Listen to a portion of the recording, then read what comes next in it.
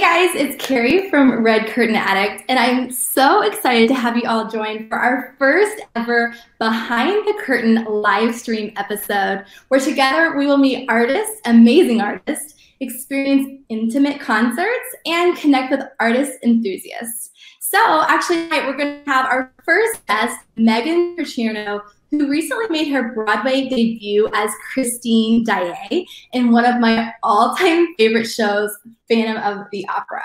So I want to invite you actually to put in some questions that you might have on your mind for Meghan, maybe about her amazing career or the show, for a chance for it to be answered by Meghan herself series. I actually got to meet up with Meghan soon after she made her debut as Christine, and lucky for us, we got to go, backstage of the Majestic Theater to see some of her beautiful costumes, some of those iconic sets, and see some of those secret passages. Before I invite Meghan to join us tonight for our first interview, I want to give you a peek of that backstage tour to show you some of the magic behind the stage of Phantom of the Opera. Take a look. Hey guys, it's Carrie from Red Curtain Addict, and today I'm in New York City at the magical Majestic Theater to see an iconic show, The Phantom of the Opera. But before I do that, I'm gonna meet up with Meghan Picerno. This is her Broadway debut, and I think we're gonna get a backstage tour. Let's go see. Meghan, oh my gosh, I am so excited Hello, to see you. good to see you. Congratulations on your Broadway debut. What has it been like being in New York City on stage as a Phantom of the Opera? Um, it's awesome.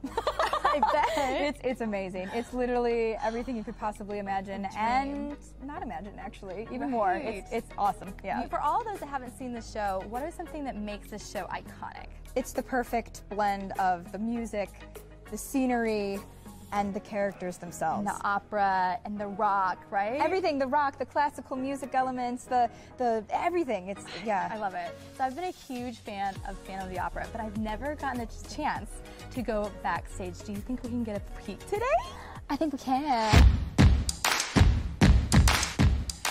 So what's pretty crazy about Christine is she is on stage constantly, and when she's not, she's usually having a team of incredible pros taking her in and out of costumes, and this is where I come when I'm on the side of the stage. I know I'm very lucky, this doesn't always happen, but I am a lucky one, and all my costumes are brand new. So here is my wishing dress. You know what I found out? Um, this fabric there is one place in Scotland that makes this one fabric, and the only reason they make it is for phantoms around the world. How cool Are is that? Are you serious? Yeah. So wow. this is the Aminta dress. Um, and this is uh, in Past the Point of No Return. And you know what's funny is actually when I first had it, um, it was so poofed because it was brand new. It was like out oh. here, and I'm too small for that, so they had to literally like steam it down. so this is my wedding dress. Oh, and this. Oh my god, it's really heavy. She's super heavy. Bustle itself is 35 pounds. Just the bustle. Meghan. How do you even breathe in that? Um, you know you do. So you need to head on stage soon. I have to go warm up. But you have someone that's going to take us on the tour for the backstage I tour, do. right? Would you like to come here? Yes. Michael, thank you so much for this. You've been working with the Phantom of the Opera show for how yes, many years? For 21 years. Tell us about your role with the Phantom. So I'm the press agent for the show. Anything that the public sees, yep. basically my eyes make sure that it's perfect. I love that. So you know the ins and outs of this I know stage. all the ins and the outs. Okay, what are we going to see first? I want to go right onto the stage and show you the stuff backstage. Let's do it. Let's go. This is incredible. Look at this stage. This is the infamous chandelier. Um, and so it's covered because it, it's revealed in, in right. a dramatic fashion in, in the prologue. Right. But you can see here. Um, all the beads. All the beads. I mean, there's 6,000 beads. It weighs gorgeous. a ton. Her name is Ruthie too. Ruthie Two, not Ruthie one. one. Ruthie one lives in London because Oh. London was first. Right above our heads, that is the Phantom's organ. But see, there's not there's not enough there. room to have everything on the deck, so things have to fly up. so this is so when the the scene comes, it's about a half an hour into the show. That stuff all comes down and then gets you know um, moved onto the set that way. So here's like a whole truck of Christine's dressing room. Oh my god. The infamous mirror scene where the Phantom first beckons her. This is the boat. Oh, the boat. You know the famous scene when she's going exactly the down to the lair. I mean, in terms of in terms of the whole show, it was about 150 people dealing with everything. But that's every that's all of us. So it's like you know, it's the you know, it's also the crew and the front of house people and our you know, and all of so our you guys, supervisors. When you clap, you aren't just clapping for the people on stage. There are so many people behind the stage. And you can't even see this, but the giant staircase of Masquerade. Yeah. I bet you can't believe this. It is literally way up here. You can't even see it. Are it's so high up. And every night they fly it in and kind of, you know, and angle it out. So.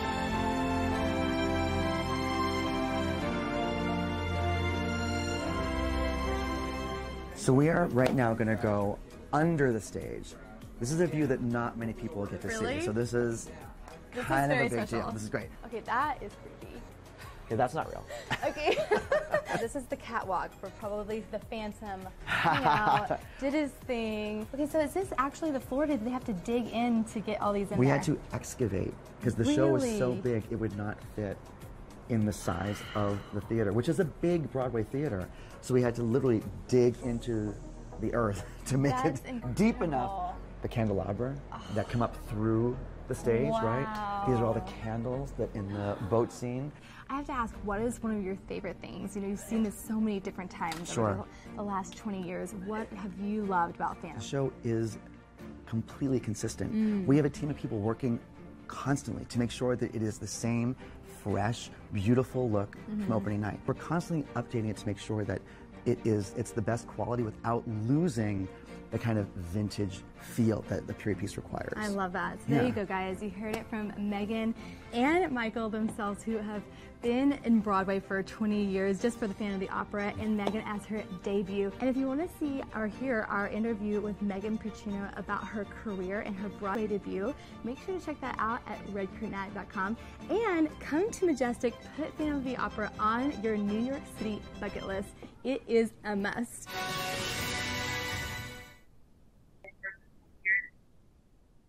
I know.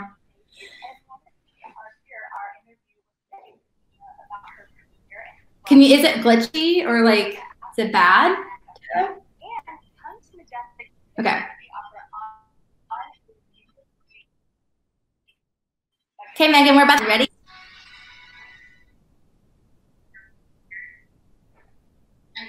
Hey, Meghan. Hi, how are you? I'm good. How are you? It's go so good to see you. Good to see you too. I'm great. Sorry, my internet's actually a little bit glitchy, but I'm excited. I'm I'm excited to connect with you from from Oklahoma. You're in New York City right now, right? yes, yes. Hello to the Midwest. I know it's crazy to be here. Well, that was such a fun tour that we did together, and it was so fun to see those costumes. How many do you actually wear throughout the show of Phantom of the Opera? Oh, uh, don't quote me, but I think that um, in total I have 14 costume pieces. I might have made that number up though. So Sam Fleming, when you see this, you'll tell me how many exactly. Oh my gosh, that is amazing. Which one is which one is your favorite? Um, there's close ones. So Aminta dress, which is the pink fluffy one, well, like salmon colored. It's in uh, Point of No Return, and then the wedding dress after that, and then Star Princess after that. Oh, they're all so beautiful. I remember that that wedding dress is so heavy. How do you even breathe when you're singing?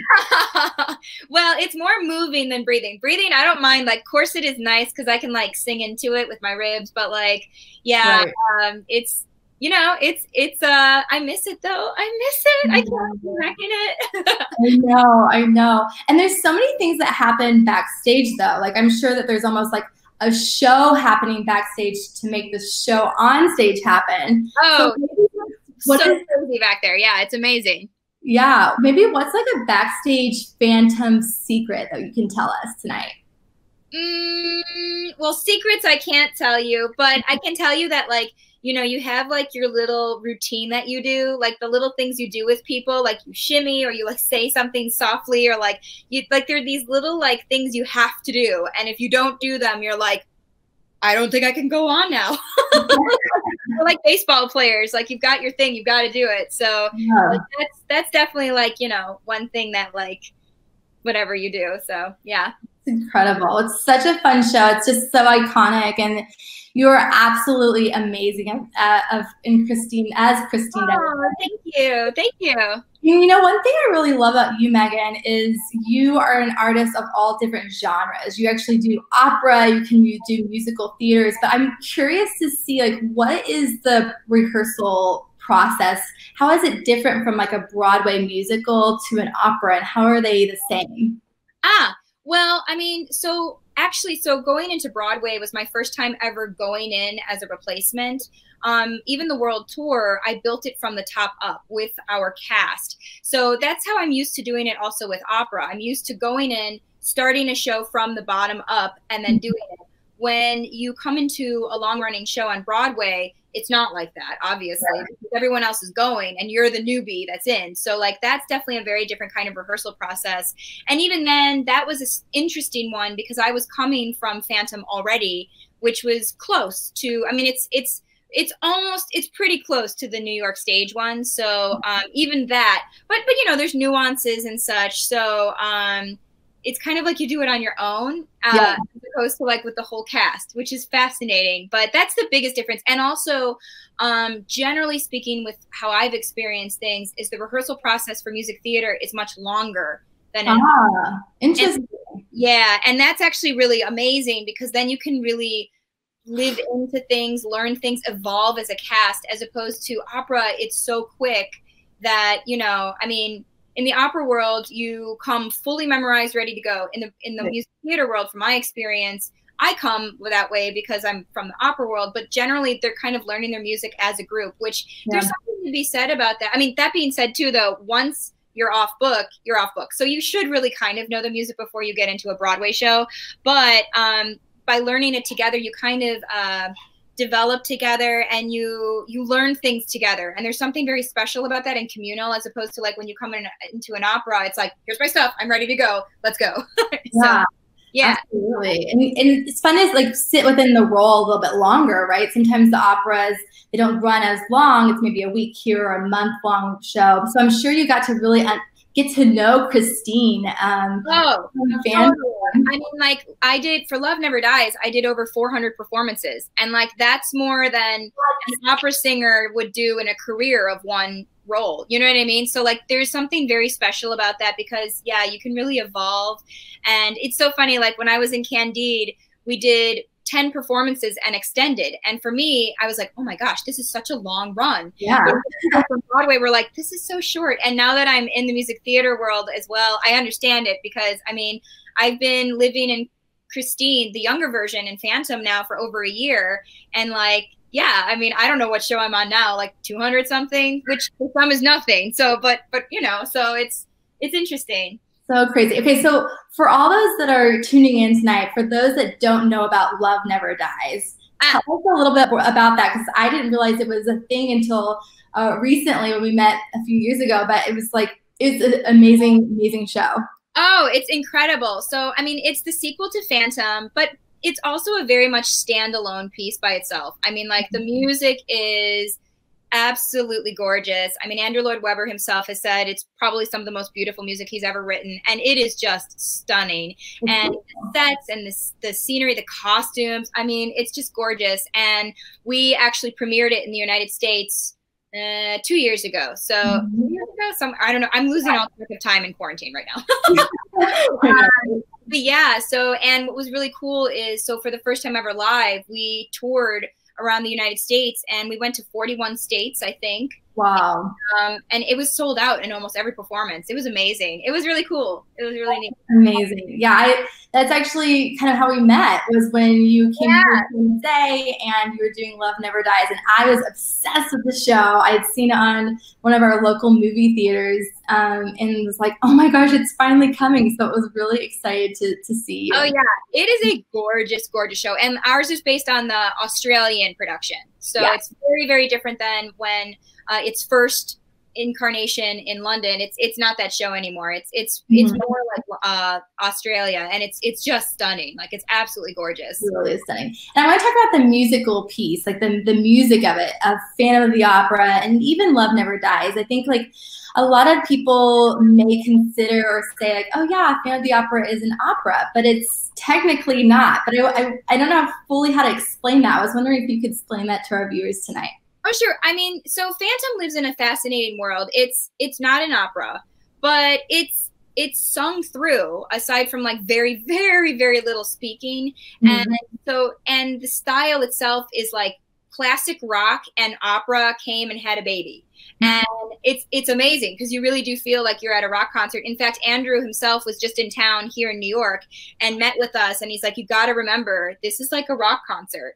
Yeah. so yes there's organ and there's very classical elements to it but it's edgy. There's something different especially now like they're modernizing it a little bit now and it's a little bit more fierce and edgy which i like. Um and um but it's it's not an opera. But indeed though it's i mean it is a sing and like thank goodness i have the classical training i have because like it is a hard hard sing to do every night Yeah. and to do it justice because like the music is so gorgeous and i personally think that one of andrew's biggest strengths is he's such a storyteller and like to really really do his music justice you need to have all these different colors and to be able to tell that story. And um, so in that way it's very much like an opera. And also it's the longest running show on both both west end and broadway. So there's a tradition to it.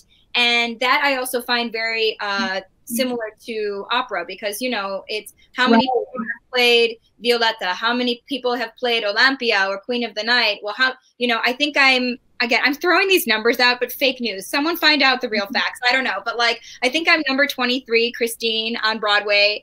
Um, we just Wow. celebrated our 32nd birthday in january.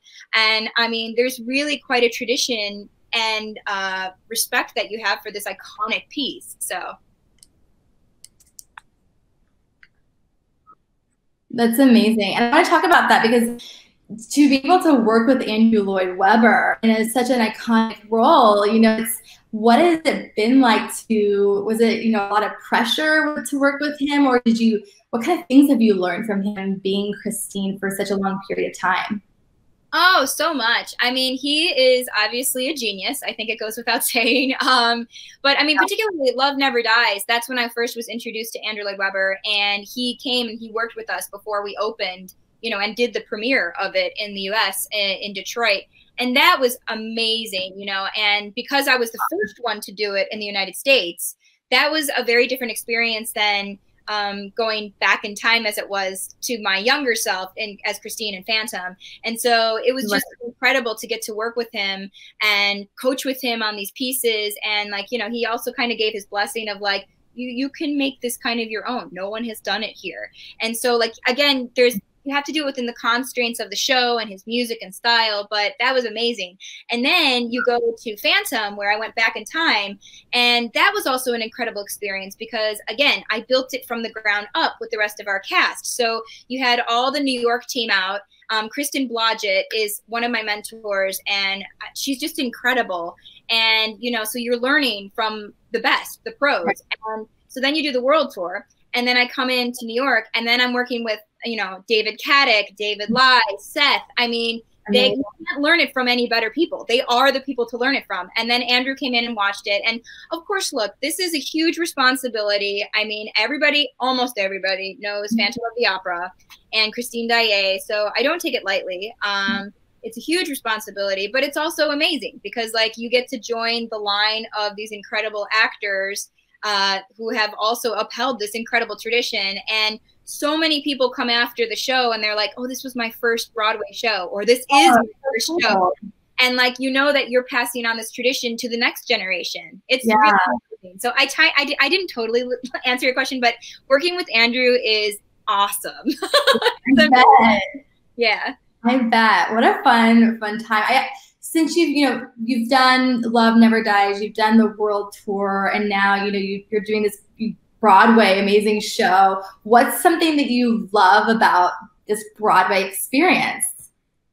Oh my gosh. Um, Broadway is definitely its own own thing. Like everything is its own bird, and I I love Broadway. I mean, my colleagues that I work with are just incredible. I mean, it's really inspiring to be on stage. I'm learning. I learn so much. I mean, like every production I'm in, I learn a lot. But um, definitely on Broadway, it's its own animal. Mm-hmm. Um, you, I mean, no matter what, you work hard, and like there is a glamorous side of it, and there's also a nitty gritty side. You know, I mean, on the world tour we had breaks like because it has to move from country to country. So like occasionally would have like two weeks off a month off. But aside from now which is unheard of um, it doesn't stop. So like you have to pace yourself in a very different manner as opposed to when you know a break is coming up um, also uh, the stage itself is a little different than on the world tour. The world tour it's wood. Here it's metal. You know there's trap doors here. There's pyro here. I mean, there's so the stakes are so much higher here. I think on Broadway, um, but also like it's just I, I love the people I work with. I mean, and also that was an interesting thing too. I mean, I was the newbie. So like I was new girl on campus as opposed to like everybody's the newbie wow. the show. And like there there are people in the ensemble. We just had an ensemble member who retired after 25 years being in the show. I mean, like you're just like, oh wow. my god, amazing. But the show is older than I am, so like, it's just incredible. And um, so I'm just learning a lot, and like, I love how um, everyone's really uh, supportive. Like when I came in, like you don't know how it's going to be, right? And like everyone just open arms. You're really a family. Like in fact, we all um, we all had a Zoom uh, session together last. Year. Oh, that's so cool. Yeah, well, someone we lost someone in our cat uh, our company to oh, COVID. Oh gosh, it was really beautiful. I mean, we did a, a candlelight vigil, and um, you know, I mean, like no one's going to be without something like that. And just seeing everyone, like after this is actually today marks one month that the Broadway shutdown has happened, and wow. just seeing everybody, you realize how much of a family you really are, and like mm-hmm. you can't wait to be back with these people. Like these people you see every single day of your life, and Absolutely. like so yeah, I miss them. I miss you guys. Oh no, we miss you, but we're excited to see you here and, and see your beautiful face and, and talk to you about these shows. I actually have some questions coming through from some of the viewers I wanted to ask. Sure. Um, and, and pull these out. So this is from Callista Gloss, and she wants to know, Meghan, which Christine do you identify more with? The younger Christine in Phantom of the Opera or the more mature Christine in Love Never Dies? Okay, I'm actually gonna like sort of skirt around that question and say I would say Act Two, Christine of Phantom and Love Never Dies merged together. Act Two of Phantom and Love Never. Oh, so like the in between, like the. Like well, the, I'm more on the Love Never Dies side of the strength, but like she finds her strength as young Christine in act two more and yep. and she takes it and she really starts becoming herself so i really identify with act two christine of phantom but then i also mm-hmm. identify with aspects of her more mature self in love never dies you know yeah. like you know she i mean like i'm not a 17 year old let's face it like you know like i mean i've i've experienced a bit of life and yeah. so i identify also on that side of it as well so i would say those two together Hey, I like that answer. That's a good one. I have another one here from Paige. She says, Who inspired you to become a stage actress? And would you rather Christine to be with Phantom or Raoul in the first place, and why? Ah, uh, okay. So um, number one, I don't know. Uh, literally, it's like I was bitten by a bug and it just happened but I'm an odd bird. Like, I don't know. I just was like, I'm going to do this now. And then I was like, must do this now. really actually someone that was like one particular person that I was like, oh my gosh, this is my, yes, no, I mean, I, I don't have that. Um, but um, well, first of all, I'm Team Christine, so I think she should have picked herself. But there's no way that can happen, and we have to remember, like, this is a period piece, like, right. so she can't pick herself. Um, well, she can, but she still, you know what I mean. So here's the deal, though. I am Team Phantom. I'm actually not Team Raoul. Are you? I feel like um, on a soul level, there's something there, and like had society not turned him into the monster that he actually isn't but had become because i mean think about it like if he was accepted into society he wouldn't be hiding in a basement and having like a completely like warped sense of reality and you know all this this hate towards him you know i mean he's yeah. he's a genius and so if he would have not been disfigured they would have been together but like society made him who he was who he is and so i think truly on a soul level um, it's it's Phantom who she picks. Mm-hmm. Like it's the music. There's a connection there that Raoul and her will never have, and they have it. And I think we all know what that's like to have that primal pull to someone, whether it's right or wrong. I mean, you know, you can't fake that. I mean, that's mm-hmm. it's it's just a complete. It, there's another level that's going on there. So Team Phantom here.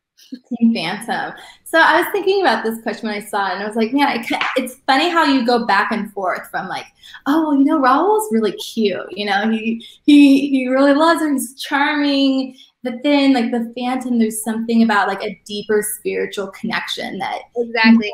That's, well, that's what I personally think. Not every Christine will uh, agree with me, but I think Phantom Christine. But I also a little more edgy and warped and like dark. So I don't know. I love you, Meghan. That's awesome.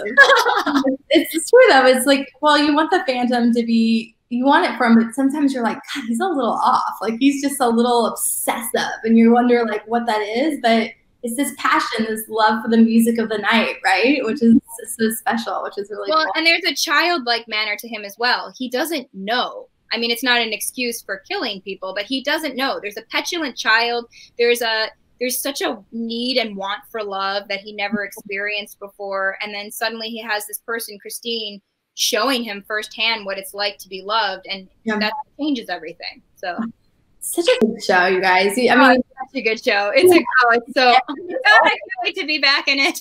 I know, it never really ever gets old. So, tell me, you know, now that the theaters are on pause and you know we're kind of going through this shift what have you been up to well i mean it depends. I've been i've been really trying to keep myself busy and like have some kind of structure. I mean i'm if you haven't told you can't tell i'm an extrovert. So i'm gonna be honest guys check on your extrovert friends because i'm i'm not okay sometimes. And like i have mostly up days. And then to be very honest i have some down days. I mean i have a favorite tree that i talk to now on walks. Oh. like that's where we're at mentally. Like i mean but like i um I sing like I I brought my score home um of Phantom so like I review it I look at it and um, I'm, you know, like watching so much Netflix. Oh my God, Tiger King. I don't even want to get into it. Oh.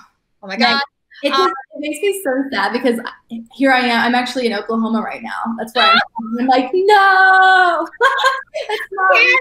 Oh my god, no. But I'm um, the, the, really the positive side of this is I'm really connecting a lot with um so many people. You know, I mean, thank goodness that uh, I'm lucky to have technology. I know not everyone is, but you know, like really it's amazing how much we've all like really been there for each other as, much as you can and um you know i i think a fascinating thing about this too life is a lot slower now for me and um you know like i i go out with my mask and everything to take my daily walk and um you know the beauty of nature and just kind of appreciating things like i i'm totally one of those people that like i wake up i meditate and I, I am I'm, I'm a journaler now. I journal and like I write things I'm I'm grateful for.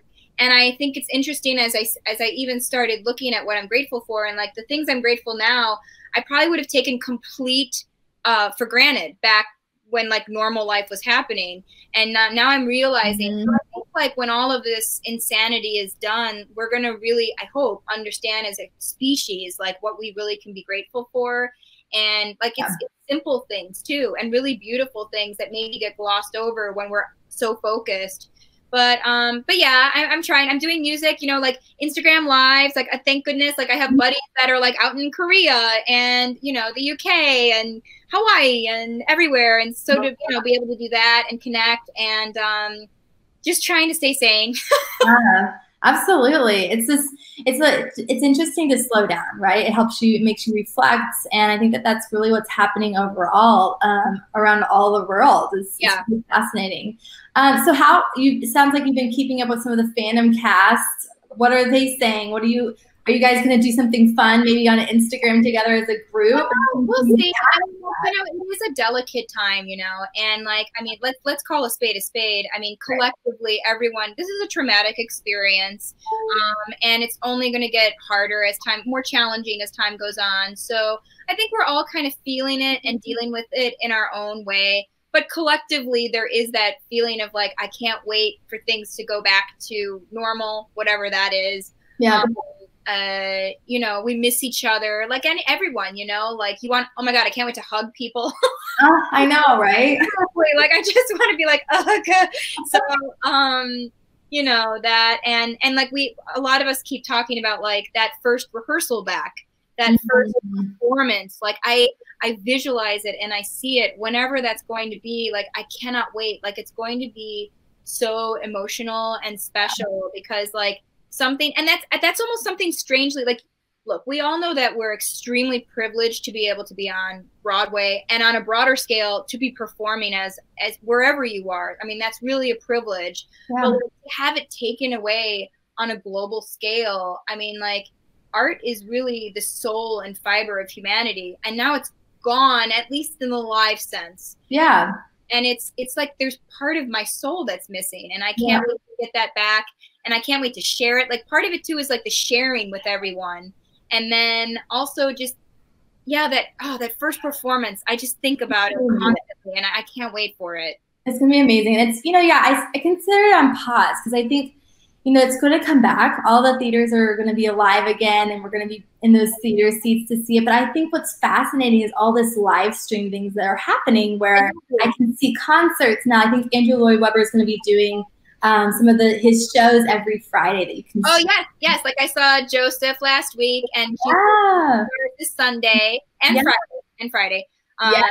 So yeah. it's, I think it's really interesting, and now like when you couldn't access a lot of these things before, now you can. And so there's some positives that are coming from this too. And I wonder, you know, when everything kind of gets back to normal, I hope that that continues so that people can watch musical theater in their home, but also go to see you live in New York. Yeah, I hope there's a blend. I mean, look, we're all pivoting and finding whatever the new normal is and you know i we are sharing things and i i mean like i think that's why too it's so important you know like people are turning to artists at this time if you're watching netflix you're turning to artists like yeah. those, those, are actors so like yeah. you know, unless you're doing nothing or reading a book i mean like everything that people are trying to do they're turning to actors still. So, yeah. you know, there's something very special about it. So true. And speaking of sharing, I hear that you're actually um, doing some virtual live lessons with people. Tell us about that. Yes. So um, I am opening my studio. I have a voice studio, but I'm opening it now a little bit further since I have a little extra time to virtual uh, voice lessons. So um, I'm, I'm gonna I'm gonna post like in a I've been saying it and people are like, oh my gosh, do you do it? But yes, I I will post like an actual thing on like where to contact me, etc. And like, you know, consultations, etc. Yeah. Um, and yeah, because you know what? I mean, the good thing now about having more time is I can also share all the knowledge that I've been given by some of the greatest minds and pass it along. You know, like that's how this that's how this works. You know, like you get information and it's I think it's your job to share it then out there with people and spread it. So absolutely, absolutely, Meghan, you're just the best. It's always good just to see oh, you. It's so great to see you and chat with you. And I just I cannot wait to see you again on the in the stage of Phantom of the Opera. It's just going to be incredible. So oh, it's going to be so amazing. absolutely, and everybody who's watching, make sure to follow Meghan on Instagram. All of her stories are so much fun, and then you can find out soon about your your live lessons. I think I might have to take you up that on that, Meghan. That'd be kind of fun. We should do that. exactly. Um, thanks for having me. Thank you. Thank you guys for tuning in, and it's been a pleasure. We're going to be announcing our next guest soon, so make sure to check it out at redcurtainaddict.com. Until next time.